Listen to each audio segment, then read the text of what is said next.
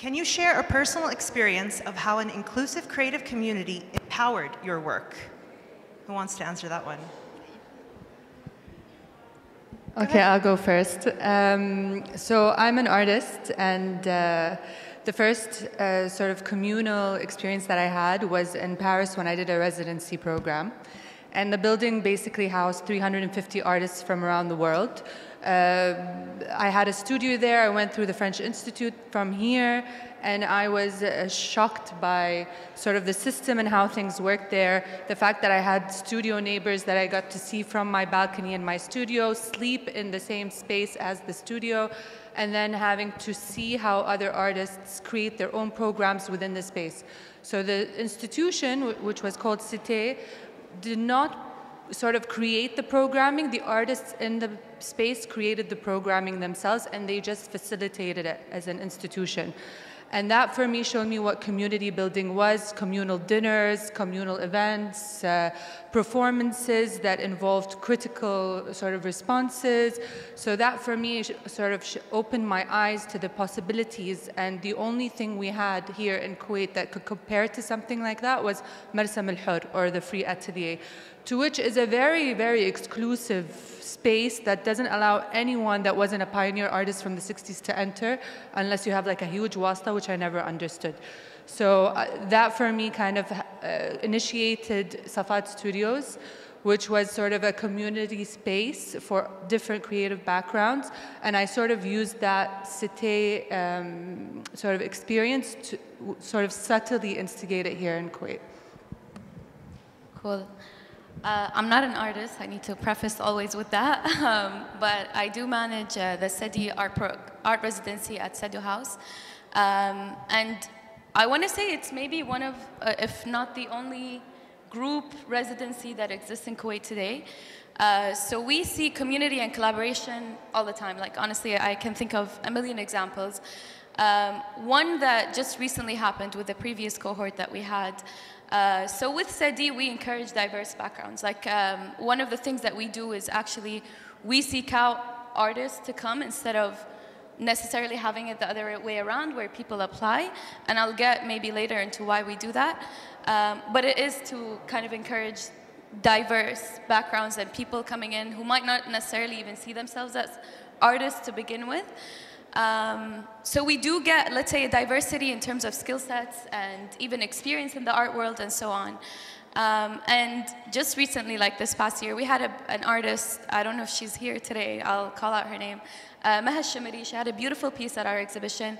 She's a very talented uh, illustrator, draws beautiful pieces, um, but kind of comes from maybe more of a classical standpoint where she doesn't use much technology, let's say, uh, for developing her illustrations. You'll see it, you think it's 3D drawn from how beautiful it is, but it's just she hand draws it. Um, and the way she wanted to execute her piece, she kind of needed that because of the time constraints, because of just the way things played out, she needed uh, support in that sense. And she had four other artists right there with her, kind of helping her out with different tools, uh, giving out different suggestions. Um, and again, I see that this is just a fresh example that just happened like a few months ago, but I see that all the time with SADI. It's the fact that they are a group that comes together and they lift each other up, I think is what makes it special and what makes every piece that comes out so distinct and different. So yeah. Uh, بالنسبة لي أنا يمكن شوي مختلفة يعني أنا فكرة أني أنشئ مجتمع إبداعي بدت بعد التقاعد. يعني أنا شايفة اليوم ما شاء الله الأكثر الموجودين شباب. بس أنا بعطي هوب أن ما بعد التقاعد يكان أنك أنت تبني شيء جديد. فكانت فكرة أني أبدأ أبني مجتمع إبداعي وحاضنة للفنون وريادة الأعمال. كانت فكرة جديدة بس أنا بديتها في 2016 في 2016 كنت أنا اي ام انتيريور ديزاين وارتست بنفس الوقت. فكان هذا التنوع دائما شاغلني. شلون أقدر أصنع ماستر بيس وتكون عندي سكيلز مختلفة. ف يعني بسن 53 ما فيني أتعلم اكسبيرينس أو مهارات بالسرعة اليوم اللي الشباب يتعلمونها. فكان لازم أوجد مساحة ألقى فيها المبدعين اللي شاركوني في إنتاج هذه القطع. لما فكرت في الحاضنة ما فكرت فيها بس لبروفيت خاص فيني. لا قلت يعني لأن أنا جاية من خلفية تربوية. أنا كنت موجهة في وزارة التربية. فالعمل الجماعي كان جدا مهم بالنسبة لي. وكان بالنسبة لي هم القيم اللي أنا أزرعها في كل اللي حوالي من القيم هذه كانت العمل الجماعي احترام الآراء التبادل. فلما جتني فكرة وجهة وأسستها كنت حريصة إن يكون في تنوع. ما يكون بس يعني الآرت ما نبي نحطه تحت مظلة واحدة رسم موسيقى لا اليوم الآرت كان في كل مجال من مجالات الحياة. اليوم أنا أقدر أقول والله في مجال الطبخ في ارتست اليوم في مجال الهندسة في ارتست اليوم في مجال الأعمال ريادة الأعمال في فنون اليوم حتى في التنمية البشرية في فنون. فاليوم مظلة الفنون صارت أكبر وأوسع. فاليوم علشان أستقطب كل هذه المجالات في مكان واحد أنا محتاجة لفريق عمل مخلص يؤمن في رسالتي في رؤيتي في في أهدافي في قيمي. والحمد لله هذا اللي قاعد يصير اليوم اليوم الفريق كله موجود هنا متواجد. مؤمنين بهالشيء. بس عشان أستمر أنا محتاجة هذا النوع من الملتقى. اللي اللي يعرفني على منافسيني. ما أحب أقول منافسيني أقول يعني آه يعني أصحاب أفكار مبدعة. مثلي عشان نتشارك يعني بتطوير هذه الأفكار. أشوف إن إحنا يعني شبابنا تبارك الرحمن مو مو مو مو قليل يعني في في أفكاره. فإن شاء الله يا رب يكون هذه بداية التعاونات. Background is in arts and culture, so I was fortunate to work on a lot of uh, community-based projects in the past. And um, the biggest success, the best results come when you include people of different backgrounds, not just educational or cultural or even religious, but also marginal groups, migrant groups. Uh, and culture is a very easy way to uh, create a project that enables uh, people to connect to break stereotypes, to work on um, projects with joint uh, results with, uh, with a shared goal. Um, I could number so many of them um, from the past. In Kuwait, it's interesting that whatever you tackle, you're tackling something that, that actually is inclusive because it's a melting pot of people of different backgrounds, um, starting from the original teams that work, then from the artists who work here, um, and then just creating, given that culture and arts are universal language to communicate, and it's a shared cultural reservoir. Uh, most of the most of the projects we work on at Promenade Culture Center, and even uh, wider, as much as I can see, um, are have this component of inclusivity. Thank you, ladies, for answering that. So our next question is, what concrete steps can organizers and leaders take to create spaces that actively welcome creators from diverse backgrounds? Who wants to take a go at that question? You don't all have to answer it. I, um, I can maybe start with that. Um, I'll, I'll, talk about kind of some of the st steps that we take and something I touched on a bit uh, earlier as well. Um, I think what's unique about the art community in Kuwait, I always joke about this. Uh, we have a lot of artists that are architects in Kuwait. And I always say that I think um, in Kuwait, it's like the artists that their parents told them that you can't pursue art end up being architects because uh, they kind of have similar skill sets and so on.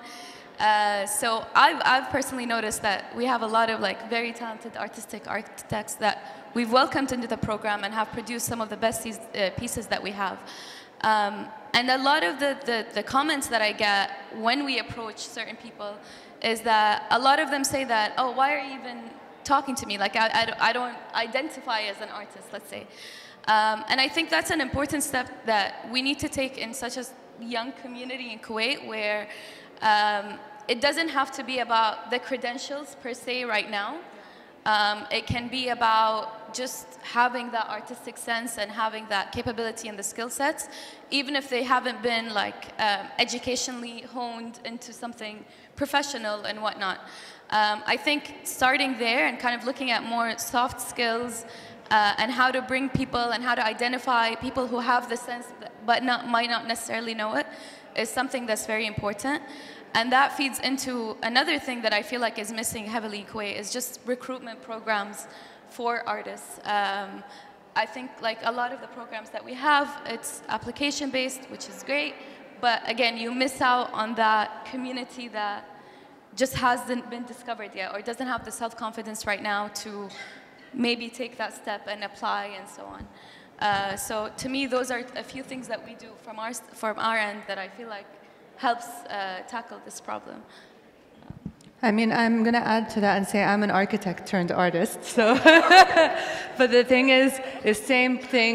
You can't be an artist. You know, it's not a sustainable income. You can't make a living out of it. It was also early 2000s uh, when I graduated. So it's like either engineer, lawyer, doctor, architect. So, but then it was really important for me to, to it, I learned a lot from architecture in the sense of professionalism and discipline, because there is this sense of when you're an artist, it's like, oh, you know, you need to be an, a tortured artist, or you need to live this sort of, like, sort of um, transient lifestyle or not a serious lifestyle, but art is a profession, like it's a full-time profession.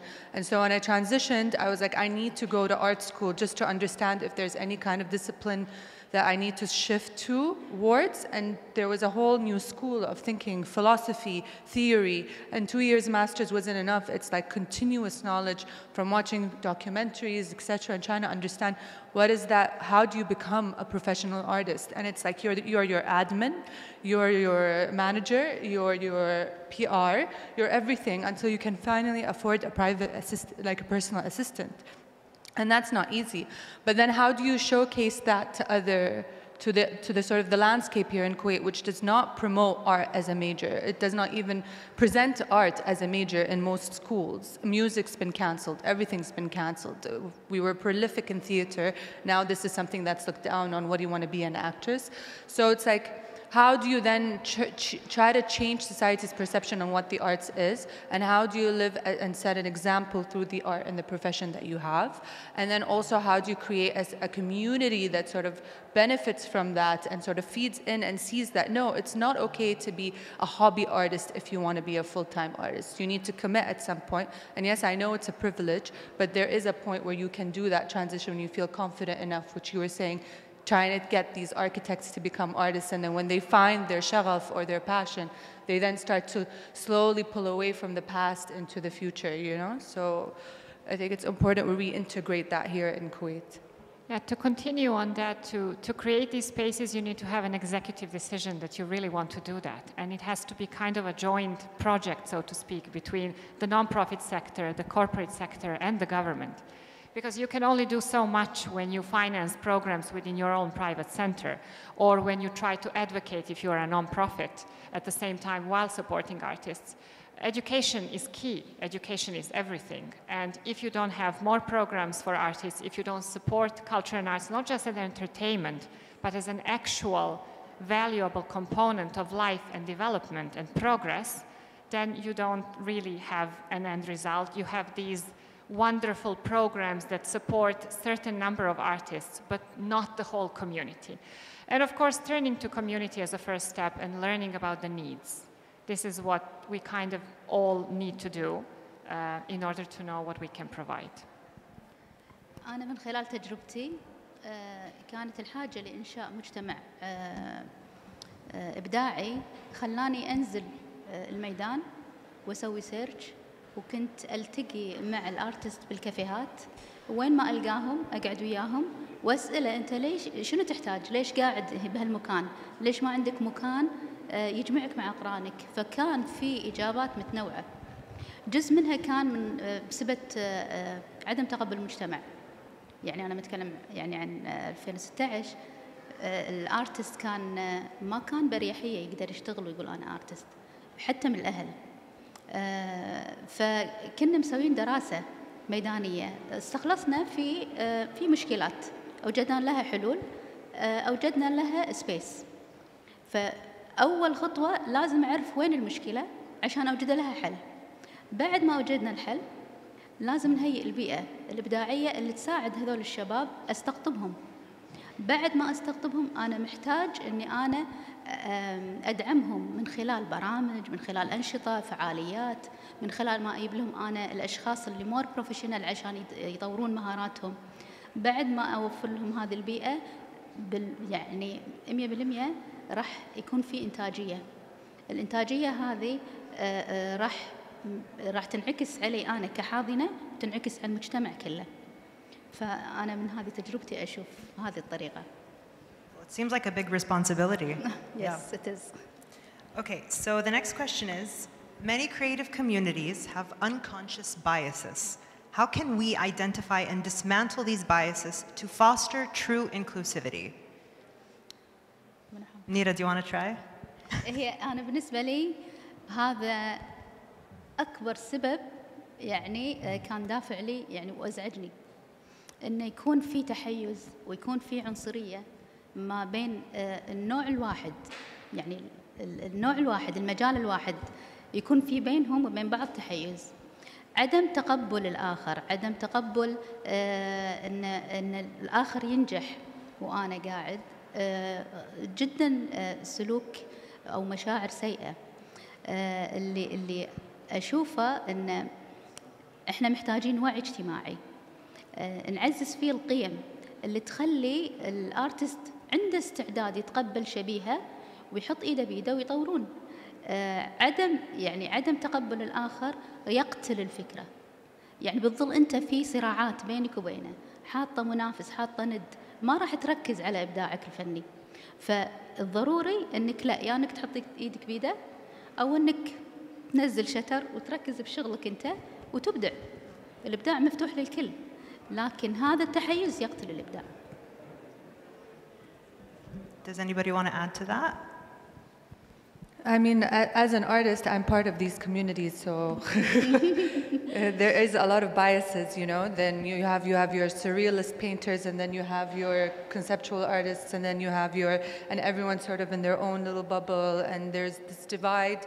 Um, and this divide is fine because they're called departments generally, you know. There are different thoughts of schools, different ways of thinking, but that doesn't mean that it's, it should, it's, it's a bias. It's more of like a, it's more of a divider between sort of these professions. The biases comes in when people start to say that this is mumin adatna taqalidna. These are not our traditions. We should not be doing these, these types of artworks. Uh, this is not, this is too Western or this is not Kuwaiti enough or these are the biases that I have issues with and I think that it's really important that the inclusivity comes from one critical feedback which is very hard in Kuwait إن نحس إن النقد وايد صعب إن نتقبله بس at the same time it's, it's really important to hear it, even if it's something that's not constructively critical, it's to be able to take that hit and then to move forward and to grow from that. And I think a lot of artists refuse to take that hit, and it's an ego issue, right? And then it becomes like, maybe I'm not good enough for this, or I'll continue to go down this path without any growth because I'm not understanding my audience. But Nahaya, what is art? Art is a reflection of society through the lens of an artist that is then bouncing it back to the audience in order to show the audience what society is looking like. It's a documentation. It's a documentation of back and forth. So if there's a if the, the bias also stems from the audience and vice versa, you will have a stagnant uh, art sphere that is not willing to develop because there's nothing to sort of converse with. Certain biases are very easy to detect because we face them daily, and especially in the programs at the center, we do have this. Why do we have this program? This is not something that we should have in our community. It is against the tradition. This is not our tradition. When asked what the tradition is, usually we don't get that answer back. It's just we don't want this, whatever that is. Um, so it's, it, it is difficult to kind of sometimes decide, realize what is the public perception, what is the standard uh, for what we can show or not. What the negativity um, that comes out of it leads to censorship or even auto censorship by artists, and that is the death of the art. So this is something that uh, we try to face daily. Um, Thank you. Do you want to add to that or next question? Um, yeah, I mean, I just uh, agree with everything that was said. I think unconscious biases are a normal part of any community. Uh, to us, we kind of seek professionals and external parties and developing that mindset that it's okay, like, yes, there are some things that are, uh, that you feel a certain way about and you're, you feel strongly about, and sometimes that's the beauty that comes out in the arts, so I think it's not necessarily a negative thing. Um, but I think, like Aseel said, it, has, it comes down to being open to third-party criticism that is constructive, that is done in a proper way. Um, and that's something we are definitely trying to incorporate more into our programs, is just bringing in professionals from different backgrounds that relate to whether the art scene in general or even the specific themes that we have uh, each year for each program, and just making sure that our artists are exposed to that, so they are exposed to these different thoughts and can maybe diversify their thought processes. Thank you. So, the next question is With Kuwait in mind, how can a diverse range of perspectives within a creative community lead to greater innovation and richer creative output? بالنسبة لي أنا يعني وهذا شيء عشته ولمسته في حاضنتنا من 2016 إلى اليوم أكيد مروا علينا نماذج كثيرة إحنا كان عندنا الطفل وعندنا تينيجرز وكان عندنا الشاب وعندنا المتقاعد وعندنا ذوي الهمم. من كل شخص كنا نكتسب شيء. هي عملية تبادلية. هو ياخذ منا شيء وإحنا نعطيه شيء. اكتساب ال ال هو خذ مسار. كل فنان خذ مسار. يا بإكسبيرينس يا بمهارات بخبرات. إحنا ما نحتاج نمر بكل هالاكسبيرينس أو المسار اللي مر فيه عشان نكتسبها. وانس إنه وصل عندنا وعنده استعداد إنه يتبادل ويانا تحت قيمنا وتحت التبادل اللي هو بكل حب. آه ناخذ منه ونعطيه. هني آه نقدر نوصل حق آه الابتكار والإبداع. وهني المجتمع الإبداعي راح يكبر. فهذا رأيي. I do want to interject. We do have let, five minutes left, so I have a couple of questions. Shall we go through those questions so that we don't? Okay. So, can you share an example of a project or idea that thrived specifically because of the, the, the diverse backgrounds of the creators involved? Shall I repeat that? No, I can. I, I, mean, I can speak on behalf of Safat Studios. So for those who don't know what Safat or haven't heard of it, it's it's basically like I just facilitate the space. I needed a studio, so I got a studio, and then I found a resident. and and Sahar is with us. So, um, so there's 30, 30 spa- office spaces or like studio spaces, and basically I just facilitate and curate sort of who comes in and who, when they leave, who should replace them. And the way it's done is basically a waiting list, and then it's like, okay, we have too many painters. We need like you know, a filmmaker, or we need, you know, and so we create that diverse environment through also talking to other artists or creators in the space by saying, do you have any recommendations or do you think anyone else should be in this? And so what happens is that it becomes a site for collaborations. We have a 3D printer that's collaborating with like uh, architects to create prototypes. We have a risograph slash screen printer that's creating all the printing marketing for the the, the sort of graphic designer. And so there's these collaborations that happen along with programming. So like uh, someone would come and say, I want to do a film festival on Palestinian films. And so they would take this further into the space. And I just facilitate. Like I rarely initiate programs. And when I do, I just feel like, you know, it's, this is a space run by its people and it should be run by its people. And so that for me shows how it's, the grassroots can work and I just want to comment that, and I don't, I'm not, I don't want to be too political, but like government institutions should not be trying to produce culture. They should be producing spaces for culture.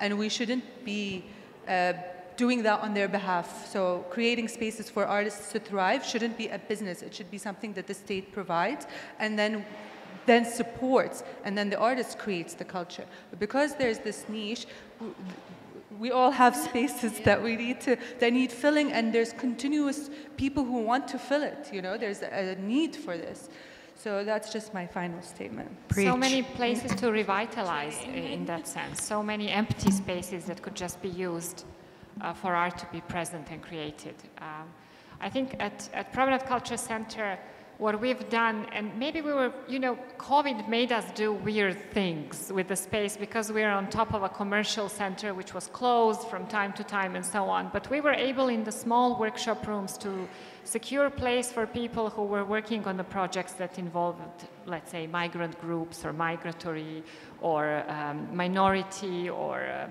um, different groups of people who don't find easily spaces to kind of work on their projects and present their art, their culture, their, their traditions, and so on. So they were able to meet. And out of those came some of the, the best uh, possible events that actually presented who people are, what they do. So you come, diversity is our richness, so you come and actually meet people, meet their cultures, traditions, see who is behind the potential stereotypes you might be having. Um, any youth program that involves us sitting together discussing um, hard topics and hard questions where you can actually express. And when you really show support and understanding and trust, then people share. Um, and then you're actually able to achieve something. Um, I, I, am completely with the youth and, and children's educational programs. Yeah, this, is we, this, is where we, start. And um, if I may add, in Sadu House, to this day, one of the best uh, inclusive, large programs that involved cultures was the Weaving Stories, the beautiful panel of more than 30 artists working on, on showcasing their, their personal story of Kuwait, uh, which were so different, so diverse, so rich, um, and showcased. So we definitely need more of that. Okay, and we have one last question, so I'm guessing one person has to answer this. So, what are your hopes for the future of inclusive creative communities, and how can we work together to achieve them? Who's going to answer that one? Yes. Government needs to step in. No. I already answered mine previously. No, it's just I, I think what I'm seeing like in other countries around the region, which is so beautiful and has been coming up just very recently, is this idea of a Qatar art scene or a Qatar creative scene or a Saudi creative scene and so on. And I think in Kuwait, as individuals, and again, like as he said, like we, we are taking the, the, the place of the governments to try to provide these uh, facilitate these uh, environments and these spaces for people.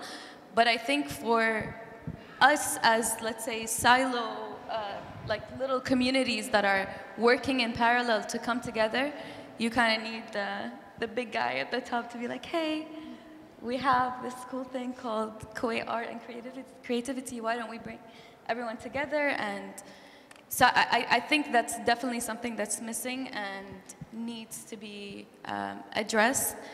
We're doing our parts as, let's say, private entities to an extent. Um, but to leap further, I think that's something that is definitely missing. انا احتاج أنا بس اعقب على شغله تفضلي.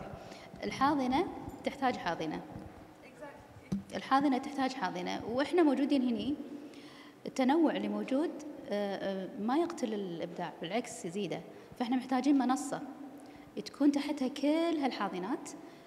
سهل على أي آه، مبدع إنه يدخل ويشوف يطالع ويتواصل مع الجهة اللي تدعمه. هذه المنصة لازم تكون مدعومة من خلال الجهات الحكومية من جهات مستثمرين من جهات الشركات الكبيرة. لازم تكون مدع- مدعومة. يعني اليوم الحاضنة كجهود فردية لوين بتوصل؟ عقب خمس سنين عشر سنين. راح تتهالك. راح تتهالك. لازم يكون إيد بإيد. يعني عشان آه، آه، نقدر نستمر. الاستمرارية والاستدامة هذه مطلوبة. وما راح تتم إذا إحنا ما حطينا إيدنا بيد بعض Thank you so much. I appreciate it. Thank you, ladies, for your time. Thank you.